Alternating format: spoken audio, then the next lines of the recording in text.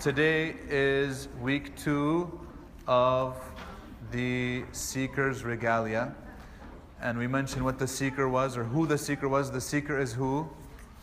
Who's the seeker? A seeker of what? A seeker of knowledge, yes. It's a seeker of knowledge. What kind of knowledge? What kind of knowledge? Knowledge about Islam, knowledge about Allah. Yes, those are all correct. We said we defined it as any knowledge that is beneficial where? In the hereafter. Any knowledge that is beneficial in the hereafter. It, it could even be physical sciences, it could be chemistry. If it helps your iman, mashallah, go for it. okay? That's not a problem. Um, any knowledge that is beneficial for the hereafter. Obviously, that includes knowledge of the Quran, knowledge of the Sunnah, knowledge of Allah subhanahu wa ta'ala, knowledge of the hereafter, etc. Okay? The regalia, what's the regalia? Um, This is a quick review, yeah. uh, regalia is like, um, well, the meaning of regalia is what you wear to represent what What you wear to represent what it is that you do. So if you are a seeker of knowledge, it should show to other people that you meet. Sah? Now, is it going to show in your clothing necessarily? Not necessarily. Although it should, in a sense that the Muslim is going to dress modestly and whatnot. And there's actually a whole section dedicated to clothing that we will get to weeks, inshallah in a few weeks. Okay? But right now, the regalia, we're talking about the regalia in the sense that it's the ornament and the decoration, right? That shows in your character, it shows in your behavior, it shows in your manners shows who you are as a person. Sah? That's the regalia. So each one of these is a regalia. Each one of the ones we're going to talk about is a regalia. And we said the first regalia is sincerity to Allah subhanahu wa ta'ala. Making sure that knowledge is a what? We said knowledge is what? Not power. What did we say last week for the ones who were here? Knowledge is an act of worship. Knowledge is worship. And because it's worship, we need two things in order for it to be accepted. What are they? Sincerity and adherence to the sunnah, which is love of Allah and His Messenger, right? So you have to have sincerity and you have to love Allah and His Messenger when doing it. Those are the two things that are required. and We talked about that at length. Today, we're talking about number two in the regalia. This is the regalia of role models. Okay? The regalia of having good role models when you do whatever it is that you do. I took this picture on a trip that I took out west. I just wanted to share it. I thought it was nice because those were nice horses. Okay? So, uh, good role models. The regalia of following good role models. So, this is called the regalia of the predecessors that we have. Okay? And these are defined as the first three generations of the Muslims. And we're going to talk about why.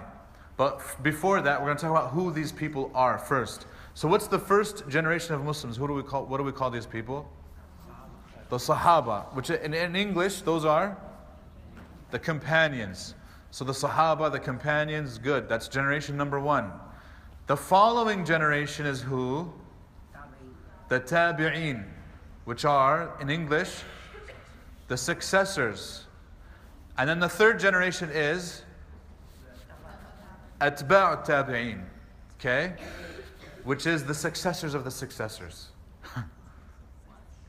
the successors of the successors, okay? We're going to define each one. Who are the companions? What, what do you have to have in order to be a companion?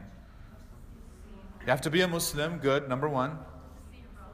You have to have seen the Prophet. ﷺ. What if you were blind? Like Abdullah ibn Maktoum. Meet him. You have to meet him, which is a more correct term. Not just see him, but you have to meet him. Because obviously, Abdullah ibn Maktoum, if it was just seeing, then he wouldn't be a Sahabi, but he is, right? He's a blind man. He's actually the blind man in Surah Abasa, right? Abasa wa tawalla an ja'ahu al-a'ma. Al-a'ma here is, is, is, is Abdullah ibn Maktoum. So you have to meet the Prophet. You have to be Muslim and you have to what? Last part, a die as a Muslim. Because there were a few individuals who converted, met the Prophet, but then they actually went back And these are only like two or three people that we know of that did this. So those are not Sahaba in that sense. A Sahabi has to have met the Prophet and, and lived as a Muslim and died as a Muslim as well. And they get a huge reward just for being that type of person, for being that dedicated individual who had the blessing of seeing the Prophet and meeting him. Okay? It's a huge blessing, we can never reach it. That's why following these individuals is so high because they were following the Quran fresh. They were following the Sunnah fresh. It's uncorrupted. Nobody can say anything about it. They're getting it directly from the mouth of the Prophet ﷺ. They're seeing how the Prophet ﷺ did things and they're following him immediately, which is why we should try to imitate these people as much as possible. That's why those people are good role models. But then they, the Sahaba, have their students, the following generation, the Tabi'een. The Tabi'een are the people who were Muslim, died as Muslims, but they did not or were not able to meet the Prophet ﷺ, but they were able to meet the companions. So anybody who met a companion is a tabi'i, is a successor. This is why the successors are of levels. Imam al-Dhahabi, he puts like 20 tabaqat or something like this. Levels of, of, of tabi'in. Because some of the successors met a lot of sahaba, and obviously the later generations of successors met a few sahaba. Abu Hanifa rahimahullah, met one Sahabi his whole life. And he met him when he was a little boy. He met Anas. This is why many people consider Abu Hanifa to be a tabi'i because he met one companion. One, that's it. But there were many successors who also lived among the companions and were with them. Obviously, that's a tabi'i, that's a successor who's at a higher level than somebody who only met one or two. Does this make sense? I hope inshallah that this is clear. So this is why there are many levels of tabi'in. Yes? Are the children of the Sahaba considered tabi'in? Tabi'in, yes, they would be, yes. Because obviously his father is a Sahabi and so on and so forth. That's exactly right. Okay? The children of the Sahaba are considered Tabi'in, yes, without a doubt. If they obviously met their parents and they lived with them and whatnot. Then we have Atba'u Tabi'in, the, the successors of the successors. So these were people who were Muslim, they died as Muslims, and they met Tabi'in. And they are of multiple levels as well. Most of the scholars of the Ummah, the Imams that we follow, Imam Shafi'i, Imam Malik, and whatnot, are technically of this third generation, and some are even of the fourth. Okay? Now, question Could there theoretically be a person who is in the successors of the successors who's better than a successor in the eyes of Allah? Yes. Yes. Could there be a successor who is maybe higher or, or, or uh, yani in, in reward and so forth, and this is crucial, but who is, yani has a higher degree in Jannah perhaps, than a companion even. Not all the companions are the same. Not all the tabi'een are the same. Just because a person is in one of these generations doesn't necessarily guarantee righteousness.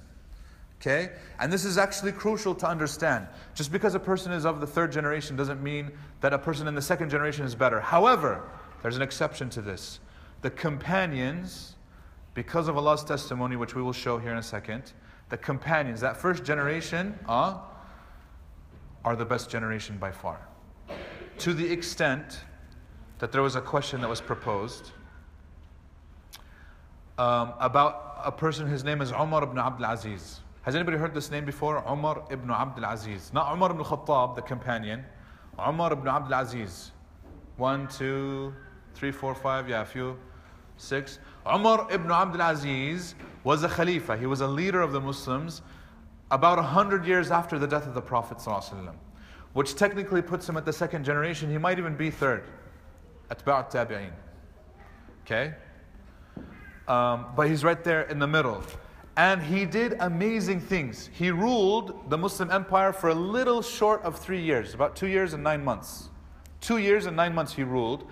But during his rule, he established justice to such an extent that there was there were no more there were no more poor people to give zakah in two years and nine months. Where before there was extravagance, there was now the Muslim empire is growing and all these things. But when he came, he established justice so much that people would struggle to find poor people to give their zakat to. They would go to somebody and the person would be like, I already have enough money.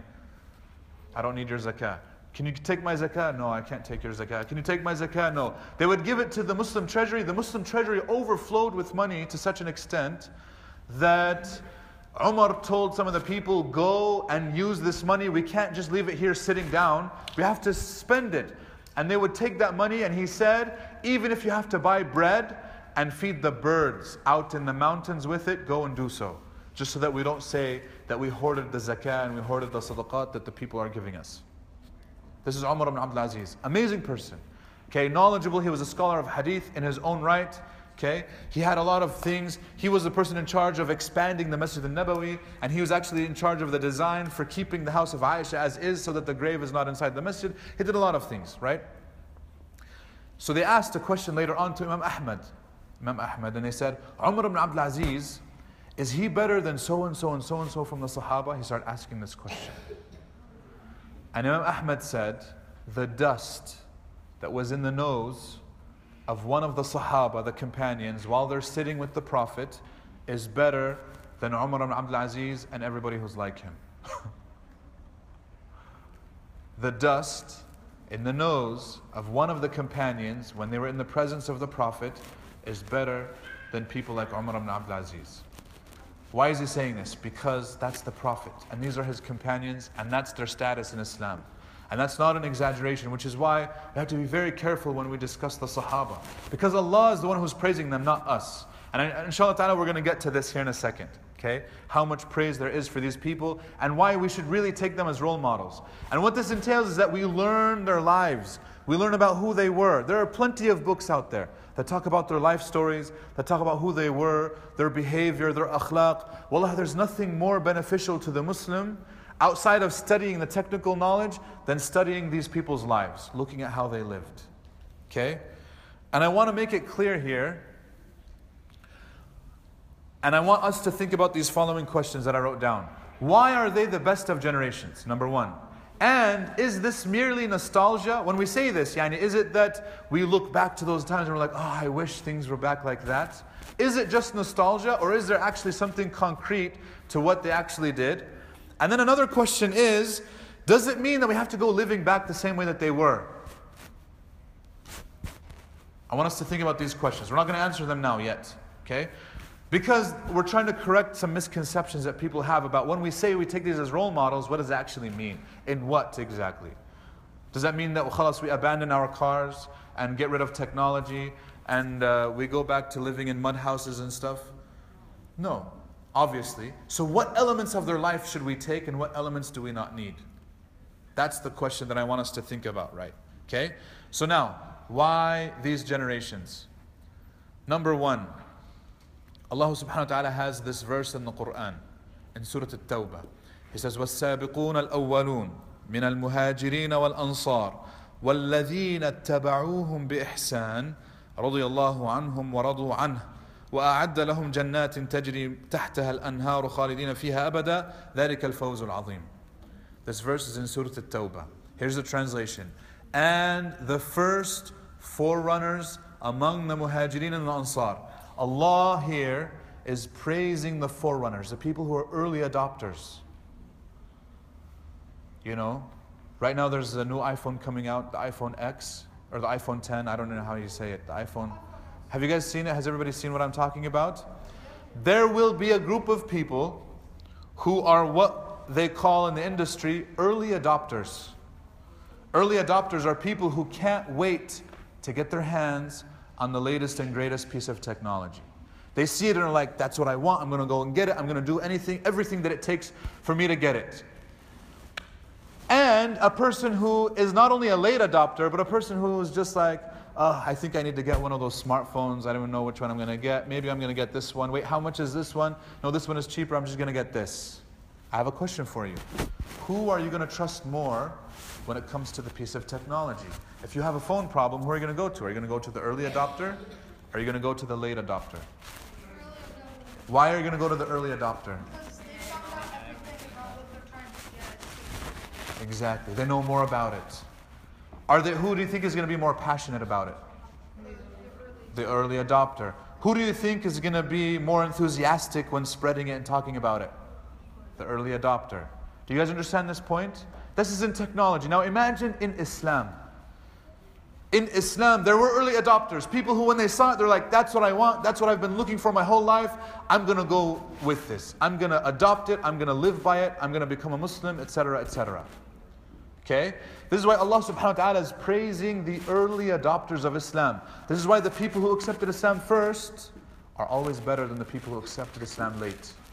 Allah says, وَكُلَّ وَعَدَ اللَّهُ الْحُسْنَى Everybody, Allah has guaranteed Jannah. Meaning from those Muslims who accepted and they were truthful and whatnot, and the Sahaba, this is in Surah Al-Hadid. وَكُلَّ وَعَدَ اللَّهُ الْحُسْنَى Everybody gets. But the people who were early adopters are always going to be a degree above. Because they raced towards it, because they sacrificed so much, because this is what they wanted their sincerity. And this is why we should always look to those early adopters. And that's why we should also be early adopters. That's why there's a difference between a person who prays early in the time and a person who waits until, oh, there's about 15 minutes left to Asr, oh, I need to pray. Or the person who's like, five minutes till Asr, okay, I'm gonna go get wudu ready. You know, he's early. He's even before the time, he's ready. There's a huge difference between the two. And that's why we have to, we have to contemplate these realities, okay? طيب. Allah praises, number one, the first forerunners amongst the muhajirin. Number one, those are the people that He praises. Number two, the ansar, the people who gave them support. If you support an early adopter, that's great. If you're helping them, you're supporting them, that's what the ansar did. Allah is praising them. Then there's the third group. Who's this group? And those who followed them with good conduct. If you now sitting here in 2017, make a mental note and you put it in your mind I want to follow those people, the Muhajirin and the Ansar. Okay? Then you will be included in this group. What does Allah say now about that group? Follow them with good contact. Allah is pleased with them and they are pleased with Him. Imagine if Allah is pleased with you, is there anything else that you need? If Allah is happy with you, the creator of the heavens and the earth, the one who sends down rain wherever He wants, the one who blesses anybody with anything that He wants, the one who gives life and death, gives richness and, and poverty, the one who gives health and sickness. If Allah is pleased with you, khalas. What else do you want? That's why He mentions it first. Pleased with them, and they are pleased with Him. And He has prepared for them gardens beneath rivers, beneath which rivers flow, wherein they will abide forever, and that is the great attainment. ذلك الفوز العظيم. That's the great winning. خلاص, that's all you need. And he's merely saying it for the later generations, for us. The only thing that you have to do is follow those groups of people. Bas. That's why this is the second regalia. The second adornment is to make sure that we follow those people. طيب, let's look at another let's look at another verse. This verse is in Surah An-Nisa. Allah subhanahu wa ta'ala says, ومن يشاقق الرسول من بعد ما تبين له الهدى ويتبع غير سبيل المؤمنين نوله ما تولى ونصله جهنم وساءت مصيرا Okay, here's the translation. And whoever opposes the messenger, so this is a threat. Allah subhanahu wa ta'ala is threatening a person, saying, Whoever opposes the messenger, if you oppose the messenger, which is obviously not a good thing, after guidance has become clear to him, so the opposition should only happen after guidance. This is the threat. So there are a lot of people who oppose the Prophet, but they were ignorant. That's why today, by the way, if there is a person who watches Fox News all day and he's completely ignorant, he doesn't know guidance, he doesn't know what Islam actually truly represents, and he opposes Islam, in Islam, Allah subhanahu wa ta'ala is actually giving him an excuse. We don't completely blame that person because he's ignorant. So there is an excuse for ignorance, but his ignorance is not self excused, meaning he has a burden to remove ignorance from himself. Every human being does. So Allah might hold him accountable for why he was ignorant, but not for his opposition to Islam. And that's an amazing thing. So Allah is saying, if you oppose the Prophet after things were made clear to you, after you got guidance, and then what? And follows other than the way of the believers. This is a very interesting statement. Allah doesn't say and follow other than the way of Islam, or other than the way of Iman, or other than the way of the Quran, or other than the way of the Sunnah. He says believers with an S. And he doesn't say prophets. Who are the believers here? Who, who's this group? The believers, when he says this in the Quran, in Surah Al-Tawbah, and Surah Al-Nisa. Yeah. Huh?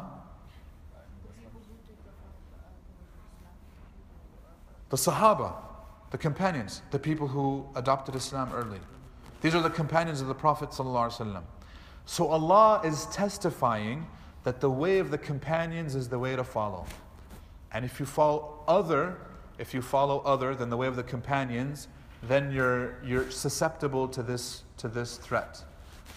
So you have to follow the companions. If you don't follow the companions, you're under a threat. What's the threat? We will give him what he has taken and drive him into the hellfire, and evil as its desti- and evil is its destination. Okay? We will give him what he has taken, which means Allah will give him what he wants. Allah is fair, Allah's justice entails that He will give everybody what they want. If you want fame, you'll get fame. If you want riches, you'll get riches. In this life, then it won't help you in the hereafter. okay? Because they didn't want the hereafter. If they wanted the hereafter, Allah would give it to them. But because He didn't want paradise, why should He get it? If He never wanted it, why should He get it?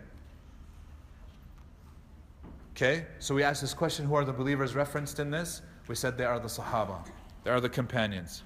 طيب, we have this hadith from the Prophet ﷺ. This is an agreed upon hadith. It's in Bukhari and Muslim. It's narrated by Abdullah ibn Mas'ud رضي الله عنه عن النبي صلى الله عليه وسلم قال خير الناس قرني ثم الذين يلونهم ثم الذين يلونهم ثم يجيء أقوام تسبق شهادة أحدهم يمينه ويمينه شهادته We'll translate it. He says that the best of people are my generation. Who's saying this? Prophet Muhammad The best generation is who? The best of the people is my generation. The best of the people. Let me ask you guys a question. Did Prophet Isa have companions? Yes, he did. What are his companions known as? What are they known as? The disciples, yes, correct. The disciples. In Arabic, they're called al Hawariyun. Allah references them in, them in the Quran. Prophet Isa has Hawariyun, disciples. And even in the Bible, they say that there were 13 disciples, right? The 12 disciples, one of them was Judas and he betrayed, betrayed Jesus, etc. Okay? So we do know from both scriptures that Prophet Isa had disciples. Did Prophet Musa have some? Did he have companions? Yes, he did. What were they called? Does anybody know in Arabic? No, not Ben Israel. Ben Israel was the people that he was sent to. What were they called? Anybody know? It's a very particular word in Arabic. It's called an-nuqaba. Yani the chosen ones. Why are they nuqaba? So when Prophet Musa went to the second time to talk to Allah, remember the first time he talked to Allah was when he was come back from Madian. The second time he went to talk to Allah on the mountain of At-Tur, he took with him a group of Bani Israel, and these are called an-nuqaba. And there's differences of opinion on, on how many he took with him and whatnot, in order for them to receive the tablets and to take the Torah and all these things. But we know that those are the best of Bani Israel because Musa himself chose them and whatnot. I have a question for you. Out of, let's say, just these three prophets that we mentioned Prophet Muhammad, Prophet Musa, Prophet Isa, who has the best companions? Prophet Muhammad. Okay, this should be clear. Prophet Muhammad's companions are the best because of this hadith, very clear. The best of people to ever live are my generation, the people that were with me, the people who supported me. Prophet Muhammad is saying it. And when you read the seerah, when you read their lives, this will become evidently clear. You'll see that these people had the best hearts, that they had the best intentions, that they helped and did everything in their power to help Prophet Muhammad. Even the Ansar, who were technically not early adopters, but they lived in Medina, when the Prophet went to fight the Battle of Badr, right, what did they say? Did they say, like Bani Israel said? Because Bani Israel, what did they say when Musa said, I'm going to go fight? They said, اذهب أنت وربك فقاتلا إنا هنا قاعدون. They said, go, you and your Lord, go and fight. We're going to sit right here. You go take care of that. The war, the fighting, we're not up for that task. You go and fight, you and Allah, and we're going to just wait here for you guys. That's basically what they said. It's in the Quran. But the Ansar, when the time for battle came, what did the Ansar say? They said, We will fight with you we will fight in front of you. We will defend you from behind. We will defend you from the right. We will defend you from the left. We will be there everywhere. We will never let you down. That's the difference. Do you guys see that? That's the difference that's there. Okay? طيب. What was their regalia? Since we're talking about regalia, what was the companions and the successors and those following generations? What was their regalia? Their regalia was their belief, its simplicity. The, one of the beautiful things about Islam is the simplicity of its belief. It's not complicated. Belief in Allah, and there's only one. Do we need any more explanation than this? God? It's very simple, right? Their belief was very simple. Their worship was very simple. They weren't complicated about it either. And it was beautiful. And the way that they worshipped, we know is the best because Allah praises it. Okay? They were best in following the Messenger. Sallallahu Us, we have a disadvantage because we didn't, we didn't live with the Prophet. We didn't see how he was. We didn't see how he prayed. So we're at a disadvantage automatically. And so therefore we need to look and see how they followed in order for us to follow them as well. In following the Messenger sallallahu We look at their manners, the way that they lived, their lives. Okay? How good were they? How good were they with each other? And that's important. The companions with each other, did they get into arguments? Yes, they did. But did they solve their problems? Yes, they did. Did they get into disagreements? Yes, they did. Did they even go to war with each other at one point? Yes, they did. But even in the battlefield, they were still upright people and they respected each other to the extent that Ali ibn Abi Talib, in one of the, after one the, that big battle that happened, and the Muslims were taking some of the spoils of war. He said, "Why are you taking this?" He said, "We just fought a war." He says, "No, these are Muslims. Give them back everything that's theirs. We can't take anything." The purpose of the fighting wasn't to get spoils of war, wasn't to kill, it was to stop a bigger fitna. And he ordered everybody to give back everything that was taken. So you look, even in the battlefield, they were upright individuals, which is why we should follow them in every way. Okay?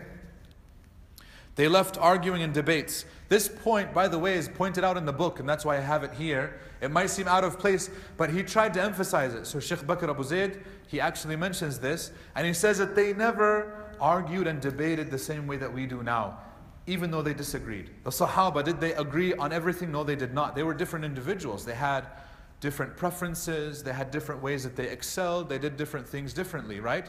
But did they ever argue and debate to the point where they would shun one another and never talk to the person? No. How many times do we do this now? Man, I, you know, it's like, subhanAllah. Two masajid, I know, stop talking to each other because they got into a difference of opinion on whether zakatul fitr can be paid in money or does it have to be paid in food. Okay? Do you guys hear my point? That, that point? They had a difference of opinion, and so they stopped dealing with one another merely based upon this issue whether we can pay zakatul fitr in money or food. Think about how petty that is sometimes. We can disagree, yahi. We're still Muslim at the end of the day, and we shouldn't let it divide us more. And the Sahaba never did. Abdullah ibn Mas'ud, radiallahu anhu, great Sahabi. He's the narrator of the previous hadith that we just mentioned. We'll mention a story about him. Abdullah ibn Mas'ud, radiallahu anhu, it was Hajj season, and Uthman ibn Affan was the Khalifa at the time. So this is after the time of Abu Bakr Siddiq, after the time of Umar, Uthman is now the Khalifa. The Khalifa during those times would also double as the Amir of Hajj, which means he's the leader in charge of Hajj. He's the person who's going to give the khutbah um, on the day of Arafah. He's going to give khutbah al Eid. He's going to do all those things. Okay? He's leading the way. So Uthman was leading the way.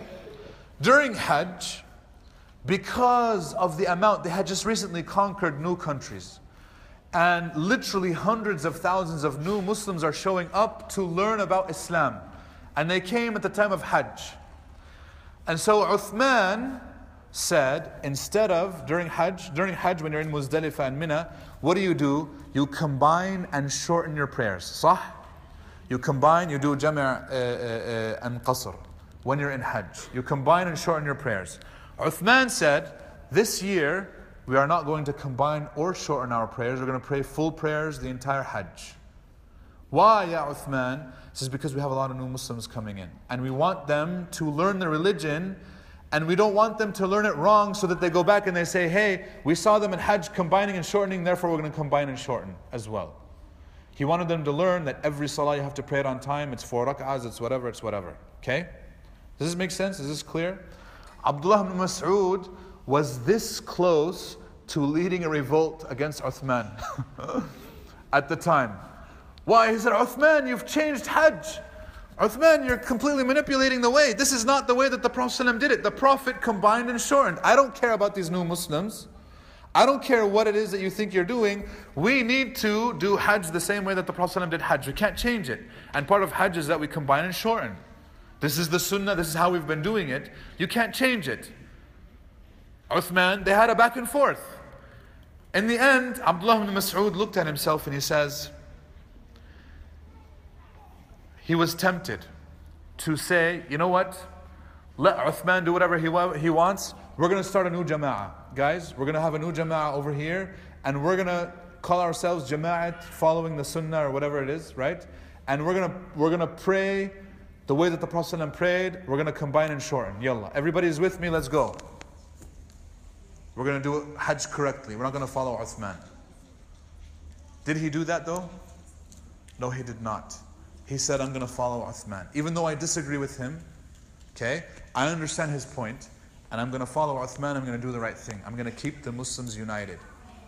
Okay? I'm going to do the right thing, I'm, I'm going to, I'm going to pray with Uthman. And he did.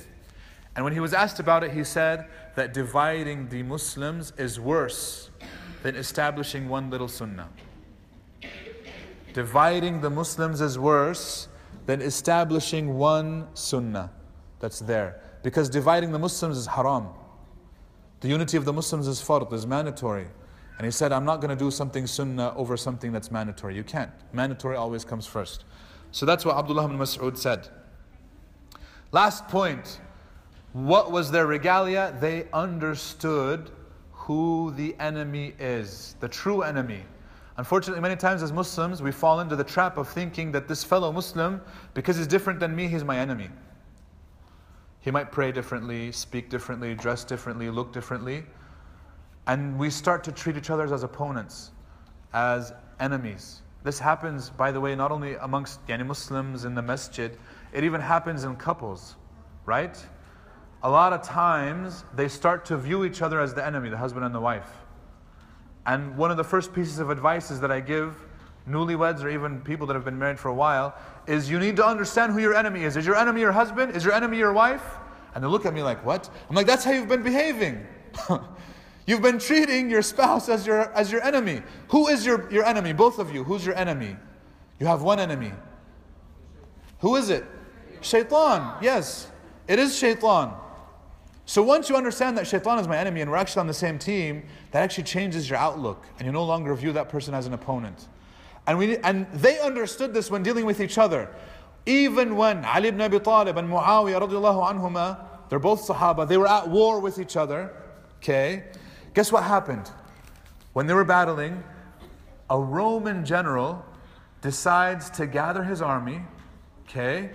And he decides to march upon the outskirts of the Muslim empire and try to take some cities away. You know what happened? Muawiyah sends him a letter. We still have the letter. Muawiyah sends him a letter and he says, Take your armies back, or I will put my hand in the hand of my brother and we will both come after you. Meaning, we're going to stop everything, okay? We're going to gather our forces and we're going to crush you. And you know that we can crush you. He's like, all this is, is brothers who are quarreling with one another and you have no business doing what you're doing. Take him back. And the guy got so scared from the letter that he did, and he did not attack. But do you see his mentality? He knew who the enemy was, and he wasn't afraid to do what's necessary to stop the enemy. That's why they're the best generation. That's why it's very hard for us to compete with them. We can try to emulate them, but we will never reach them. Okay? Also, regalia is not just fancy words. So a lot of what we said is fancy words in a way. Okay? But regalia is not fancy words. So this is directly from the author, Bakr Abu Zayd. He said that a lot of times students of knowledge try to gain knowledge in order to be eloquent or to gain fancy words, and they might do what? Study philosophy and logic and all these like, um, he, he was calling them yani, in Arabic, these fancy sciences. So did the Sahaba study philosophy or logic? They did not. Does that mean it's necessarily bad to study philosophy or logic? Kind of. Now I'm going to show you guys some quotes. And these are going to sound a little harsh, But I want you guys to have patience in this, just for a little bit, okay? Just for a little bit. And we're contrasting this to the Sahaba. So the Imam al-Dara Qutni, he is a narrator of hadith, he has a book um, of hadith. It's actually considered one of the four authentic books of hadith outside of Bukhari and Muslim. Ad-Dara Qutni, um, his book is one of them, okay? Um, he's not that well known because he's not in, considered in the six. This is because he came a little bit later, but he made sure that everything that he compiled was actually authentic. He says, There is nothing more despised to me than the study of philosophy. now, he says this as a scholar of hadith. And I just want you to read his quote. Now, we're going to explain why they say this at the end. Okay, I'm just putting his quote. This is in the book of, by, this is in the Arabic book of Hilyat Talib al Ilm, of the Regalia. There's nothing more despised to me than the study of philosophy. Ibn Taymiyyah is on the record saying, the most prone person to misguidance is a halfway philosopher. A halfway philosopher. Why? Because he who hasn't studied it is safe from its doubts, and he who has fully studied it realizes its futility, realizes that it's worthless. I've had like uh, discussions with professors of philosophy. Ask him like, "What did you get out of it?" He's like, "Nothing." He's a professor. He teaches it, and he's like, "It really didn't really." I mean, once you reach the end of philosophy and you've studied it in depth, you realize, aslan, these are things that people intuitively know. Aslan, we know it naturally. It's within our fitrah. We already know it, most of it. It's just that they're putting fancy words to what's going on in the fitrah. And he says the person who didn't study it at all who doesn't study it, this type of person is safe from philosophy and its dangers because he didn't even go that route. Because philosophy is the study of human intellect, thought, and doubt as well. And it puts a lot of doubts in people's minds. And this is why Ibn Taymiyyah, he says, the one who's in danger is the halfway philosopher, the person who thinks he knows but he doesn't really know. The person who's read a little bit but hasn't really read fully. You know, it's like I mentioned in my Quran class, like the guy who came to debate about the flat earth versus the round earth. Okay? That guy read a little bit, but he hasn't fully gone into it. And that's why he's completely confused. And that's the danger. And this is why Ibn Taymiyyah, he says that the most prone to misguidance is the person who's a halfway philosopher. So don't be a halfway philosopher. Either go fully or kind of just stay away and study Islam and you'll be fine. Last is Shaykh ibn Uthaymeen, who is the explainer of the book Hilyat Talib al-Ilm. He says that there is nothing more harmful to our beliefs as Muslims than those promoted by philosophers. He says, in this modern day and age, and unfortunately, there are a lot of Muslims who get misguided once they start to read philosophy because they don't, they haven't fully studied Islam, and therefore they don't have that protection. This is why knowledge will protect you from those doubts. Okay? Because that's what philosophy tries to promote doubting everything. You start to question everything until you start to even question whether you exist yourself. You start to question whether Allah truly exists. You start to question whether this whole thing is real. You have the matrix mentality. Do you guys know what I'm talking about? The matrix mentality? Has anybody seen The Matrix, the movie? Okay, I'm not promoting you to watch The Matrix, right? I'm just saying, as as a movie. I had a guy, by the way, when I was in university, a guy who would walk around in those big leather trench coat and he had the boots on and he always walked around with sunglasses, okay? And he would walk around.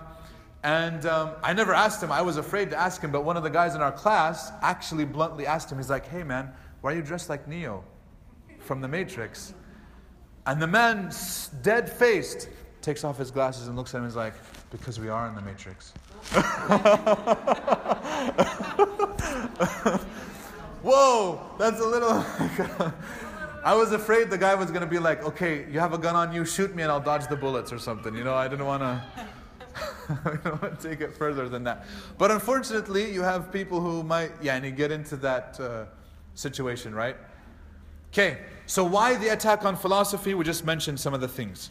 First off, philosophy as a science is limited in its scope to the mind, to the intellect. And it assumes that human intellect is the most advanced evaluator, negating the fact that Allah Himself, Azza wa Jal, knows more than all of humanity combined, and even more than that, right?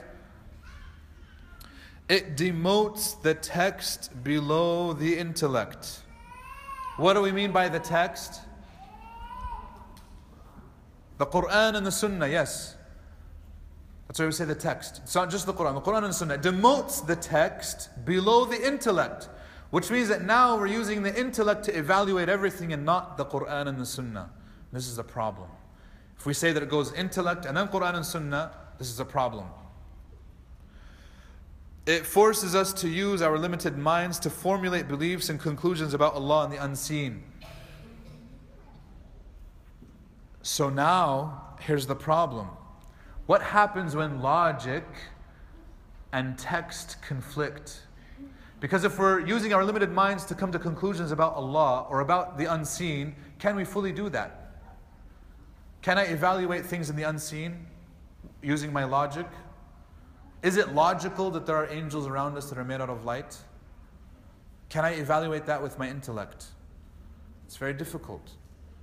Okay? So I mentioned here two examples. We have Shajarat al-Zaqum and we have the book of deeds around the neck. Okay? وكل إنسان ألزمناه طائره في عنقه And every person, we give him his ta'ir, his bird. His bird is actually his book because the book flaps when you're given your book. And your book is then put around your neck on the day of judgment. We'll mention this one first. The disbelievers came to the Prophet ﷺ and they said, Ya Rasulullah, well not Ya Rasulullah, Ya Muhammad, this verse doesn't make any sense. What are they doing? What's their first pitfall? They're trying to apply their limited intellect to a verse that's revealed by Allah. What did they say? They say, this verse doesn't make any sense and therefore we're rejecting it. We're using our intellect to evaluate. The thing is, the problem is, when you were 10 years old, how was your intellect? Versus when you were 20, versus when you're 30, versus when you're 40. And ask a 70 year old how his mind is compared to his 40 year old self. you'd say completely different. He would be like, when I was 40, I was a child, compared to now when I'm 70 years old. So if the intellect is changing, how can we use something that's changing to evaluate something that does not change? That itself doesn't make any sense. But this is what they were trying to do. And unfortunately, we do have Muslims who are alive today who try to also still apply this logic. Meaning, if the verse doesn't logically make sense or the hadith doesn't logically make sense, we reject it. And this is incorrect. We can't. Okay? So, what did the disbelievers do? And then we're going to mention these two examples. They came to Prophet Muhammad and they said, Ya Rasulullah or Ya Muhammad, a book that contains every last detail of my life is hung around my neck, that doesn't make any sense. Because you said, وَمَنْ يَعْمَلْ مِثْقَالَ ذَرَّةٍ خَيْرًا يَرَهُ وَمَنْ يَعْمَلْ مِثْقَالَ ذَرَّةٍ شَرًّا يَرَهُ Just whoever does an, a small, minuscule amount of good, you shall see it. It's written. So imagine the amount of detail that's in the book. Imagine how much detail there is in the book, right? So they said there's no way that a book like that could even be carried, let alone be in one book. It would be in multiple volumes. This doesn't make any sense. What did they do? They applied their limited intellect and logic to something that is unseen. That's in the hereafter. Allah can take care of it. Now that was 1400 years ago. If now I tell you on a little USB flash drive that you can hang on your keychain, you can have gigabytes and gigabytes worth of text and details. Can I hang this around my neck? Could this theoretically contain details about my life and even more? Yes, it could. Do you understand now the fault in using intellect and logic? Our intellect and logic is limited by our own human experiences, and it's not going to be ever perfect. And therefore, if I try to say, well, in the hereafter, when Allah says that the deeds will be weighed, I don't, I don't, I don't accept this. Because how are the deeds going to be weighed? Well, you're using your limited human experience to evaluate something that Allah hasn't aslan required you to evaluate. He just wants you to accept the idea that you're going to be held accountable. And that's what you have to realize. And that Allah Azza wa is recording everything. That's what you need to do. Don't try to think about it too much. And that's the danger of philosophy. Do you guys understand this point? Another point. The disbelievers came to the Prophet ﷺ and they said, there's something that doesn't make sense in the Quran. Okay, go ahead. What is it? They said, Your Quran says that there's a tree that's in the hellfire. Okay? That doesn't make any sense. If there's a tree in the fire, that tree is going to burn. right? Because trees are made out of wood, and that's the primary fuel for a fire. How can there be a tree that grows in the hellfire? What's the name of this tree, by the way? Shajarat al-Zaqum. So it's mentioned multiple times in the Quran. And that Allah subhanahu wa ta'ala says, Ta'amul athim. It's the food for the people who sin, who disbelieve, right? It'll be a food for them. It's a horrid tree. Smells completely horrid. It's completely sour. It's, it provides no nourishment. It's also a form of punishment, anyways. But they said this doesn't logically make sense. Now, as believers, what do we say? Yeah, Allah can do whatever He wants. If Allah wanted to create a tree that's in the hellfire that will not burn, He can, can He do that? Yes. We're done. You know what I mean? We don't need to go beyond that. And so this led them to use like their intellect to reject that idea as well. And there's a danger, and obviously now for us as Muslims, we have people who might reject the ability to see Allah, which is false, or they or that Allah will weigh our deeds or weigh us, or all these types of things of the unseen. The thing is, we cannot evaluate the unseen because we are limited in our minds, in our experiences, in our, in our intellects. And now, if this is about elements of the unseen, then my question is the following How about when it comes to Allah Himself? Can we ever evaluate Allah Himself using our human experience? We cannot. And therefore, if Allah says something about Himself, we trust Him that that's truth. We can't reject it, right? We can't fully perhaps understand it, that's fine. He didn't, you know, ask us to. But we understand His names and attributes and we have to study them. So when Allah says He is Ghafoor Rahim, I know what Al Ghafoor and what Al Rahim entails. When He says Huwa Samir Al Basir, He is the seeing, He is the hearing, I know what that entails. And I know what it means on my part in terms of my actions and my deeds. And that's how the Sahaba excelled. They didn't get into these philosophical questions. Well, when Allah says that He hears, does He have ears? Yahi, Allah didn't ask you that question, whether He has ears or not, or, or how does He hear. That's not, that's beyond your scope. You don't even know how you hear as a human. you don't even know how your own ears work.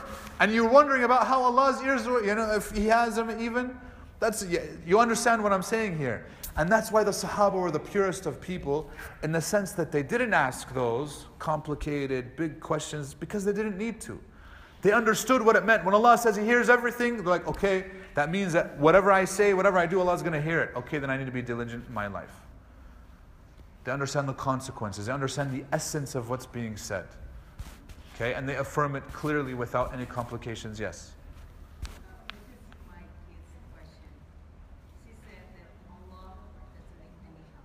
Yes.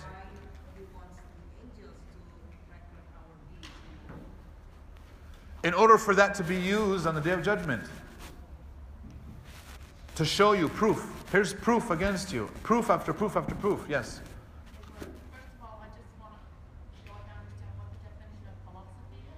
Yeah.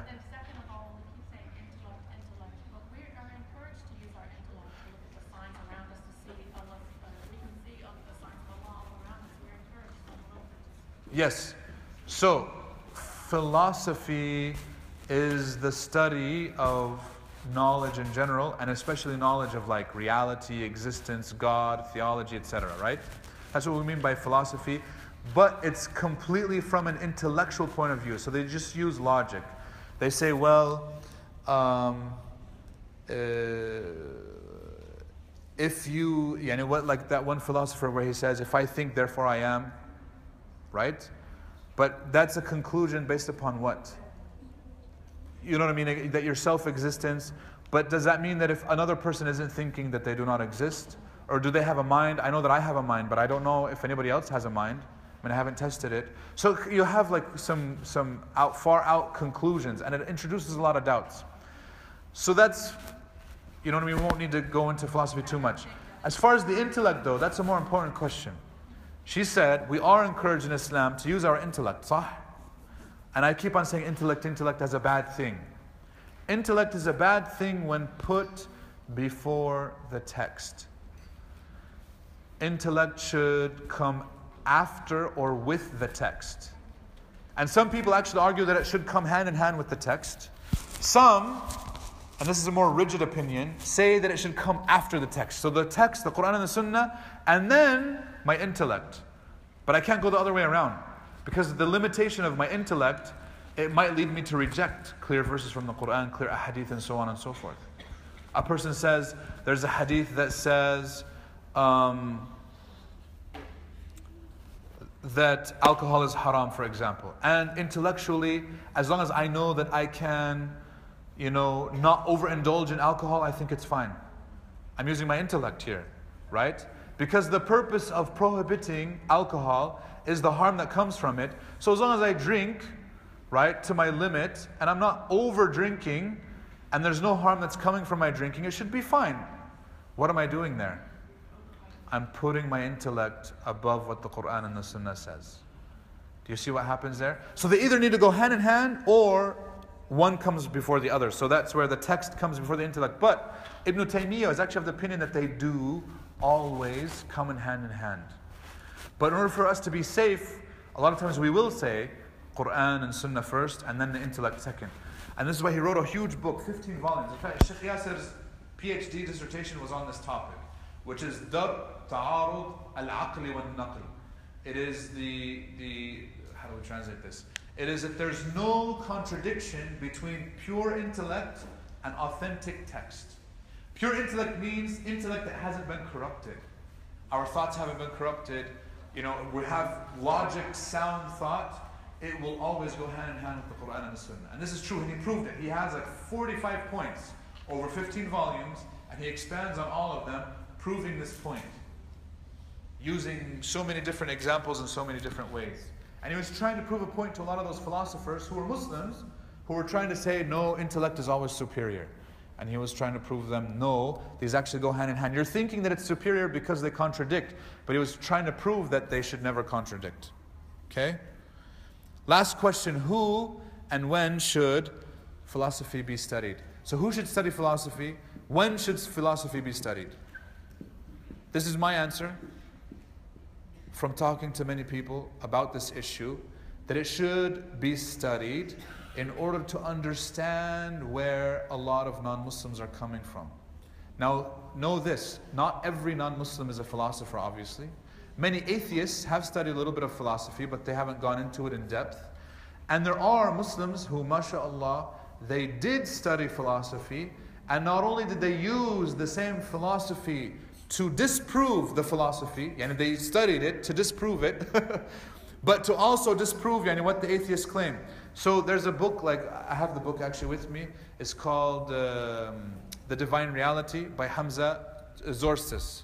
Okay, the Greek convert. He's the head of IERA, which I recently joined um, as one of their US based instructors. He has, he, he's getting soon, in a few months, his PhD in philosophy.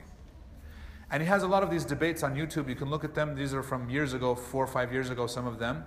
More recently, he stopped doing a lot of the debates and this is not because he hasn't sought them out. And he does the debates, he doesn't believe in debates, by the way. He does them to prove to the Muslims that they actually can debate, that they actually can stand up to a lot of these atheists who claim to be of high rationality, of high reasoning, that we're intellectuals and you Muslims don't know anything about anything, and therefore you can't even stand toe to toe with us. He did those debates to prove to a lot of the Muslims that actually we can debate them and win. His last debate he did last uh, a few months ago in the spring with the head. This is not published, by the way, because they didn't want to publish it, because they were so embarrassed. Okay? He did it with the head of the um, Atheist Society of Ireland. The Atheist Society of Ireland, sah? And, um, oh, I went too, sorry, I went back. Um, he debated the guy, the head of the Atheist Society of Ireland, Halfway through the debate, it stopped to be a debate and it became a lecture. Where the guy, because he has his PhD in philosophy, another guy is just an atheist who like studied biology or something, has no idea what he's talking about in philosophy. He actually started to correct him. He's like, actually, what you're talking about is this. In philosophy, it's this. And he started to correct him. The guy's like, oh yeah, that's right. And he's correcting his own belief. So he knows the other guy's aqidah better than the guy who's adopting the aqidah knows it. Okay? And he's like, basically, I'm teaching these guys what they believe in after a while. And this is why they stop debating once you understand where they're coming from. So if you study philosophy from that perspective, that's great. But, and he said this himself, you always have to have a deeply rooted, sound Islamic foundation before you do so. Because it promotes a lot of doubts, it promotes a lot of things, and if you don't know what your own belief is, it'll cause you some problems. Okay? That's where he's coming from. And so his book, I recommend it's on Amazon, you can order it. It's called The Divine Reality. I have my own yani, copy, I have a, a bazillion notes yani, throughout the whole thing. Really good read. He's actually coming out, if you want to wait a few months, he's coming out with the second edition. And basically, for half the book, he actually goes into some deep philosophical questions, but he actually answers them using the Quran and the Sunnah. And he actually has his references there. So he's not using philosophy to debate philosophy. He knows his philosophy, he knows what they say, and then he shows how actually the Quran and the Sunnah have something superior always. This is why the best aslan way to debate with atheists and people who claim to have like some sort of intellect and whatnot is the Quran itself, but you have to have a, a knowledge of the Quran in order to do so. Very good. What time is it now? 2:41. How long have we been going for? yeah, we've, go, we've, we've been going for about an hour. Um, so section number three was going to be the regalia of fearing Allah subhanahu wa ta'ala. Okay? The regalia of fearing Allah subhanahu wa ta'ala. We will stop here. Um, and we won't uh, we won't go beyond this because I think this the, the fear of Allah subhanahu wa ta'ala goes hand in hand with the section after it, which is muraqabatullah azza wa being watchful of Allah. And these are regalias that are much needed, and we'll talk about them inshallah ta'ala next week. Does anybody have any questions before we wrap up? Any questions inshallah ta'ala? Issues, yes. Is there anything that uh, relates that you have to cover your head when you have to use the restroom? Is there anything that says you have to cover your head when you use the restroom? No. There isn't. Not that I know of. Even when I remember there was one sheikh who was asked this question, he said if the person is used to wearing something on their head, aslan, there's no problem to continue doing so in the restroom. Does that make sense? If it's already their habit and whatnot, then that's completely fine. And other thing is, do you have to cover your hair just, you, somebody said it's a sunnah in front of the mother? In front of, no, you don't have to. If they're maharim, you know, of, your family members, yeah. Yes, that's not, you don't have to, no. no No, no, I don't, not that I know of, to be honest. No. If uh, and it depends on what type of mahram. So there's a mahram from like uh, marriage, and there's a mahram through like nasab. There's different levels. that. Your kids and, uh, Yeah, your kids and your husband and your fathers and your cousin, you know, not your cousins, but your your brothers and your uncles. No, you don't need to wear in front of them at all. No. Inshallah. ta'ala. Okay. Very good. Yes. Um, okay, so can you study like Christianity and Judaism if you have a good standing ground in In Islam, yes. Be able to debate or to be able to, di- to dispel some of their misconceptions, of course. Okay? But you have to have that solid ground in Islam first. I would never recommend it for somebody who doesn't have a solid foundation in Islam. You have to have a solid foundation in Islam. Now. Okay? Yes? That's okay. You don't have to wear hijab in front of him. Yeah. Inshallah. Okay? If that's it. بارك الله فيكم جزاكم الله خيرا سبحانك اللهم وبحمدك نشهد أن لا إله إلا أنت نستغفرك ونتوب إليك um, If anybody hasn't signed up I haven't sent out any- any emails so that's why I got your emails last week for the people who don't I don't have their emails but if I don't have your email you can e- send it to us info at masjid-rahman.org which is found on our website just go to our website send us an email be like hey add me to the Seekers Regalia email list and that way you can get the PDF of the slides, and you can get the audio of the lectures, um, and you can get the PDF of the book that we're going off of as well. بإذن الله تعالى. جزاكم الله خيرا again. السلام عليكم ورحمة الله وبركاته.